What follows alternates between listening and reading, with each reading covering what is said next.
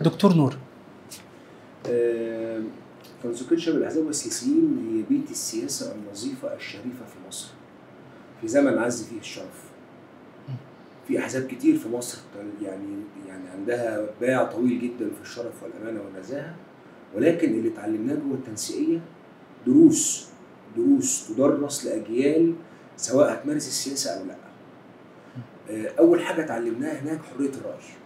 أول حاجة اتعلمناها هناك إزاي تقول رأيك بحرية حتى لو كان صارخ وعلى أقصى درجات المعارضة.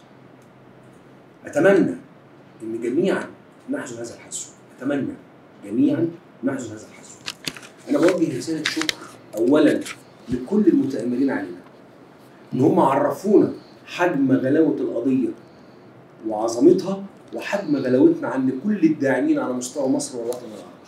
حقيقي بشكرهم لولا هذا التآمر ما كناش عرفنا الدعم اللي في ظهرنا واللي مقوي قلبنا النهارده قد إيه.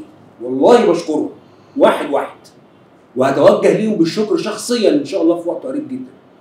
ثانيا بشكر كل الداعمين باخلاص اللي نعرفهم واللي ما نعرفهمش. اللي اشتغلوا معانا واللي ما اشتغلوش. كل التليفونات اللي جات لي من أصدقائي بره سواء كل الدول العربية والأفريقية. وزملاء لينا في العمل السياسي اتقابلنا في المؤتمرات الوطنية للشباب.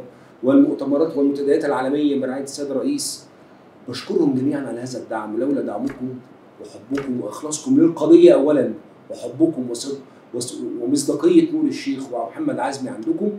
ما كناش في هذا الموقف البطولي الآن. عفوا هو مش بطولي ولكن دي حقوق. وأعتقد إن إحنا في موقف لا يمكن التراجع عنه. إن إحنا نجيب حقوق كل الناس دي وإن إحنا نحمي حقوق الشاب اللي طالع بعد كده عشان يمارس السياسة بكل أريحية.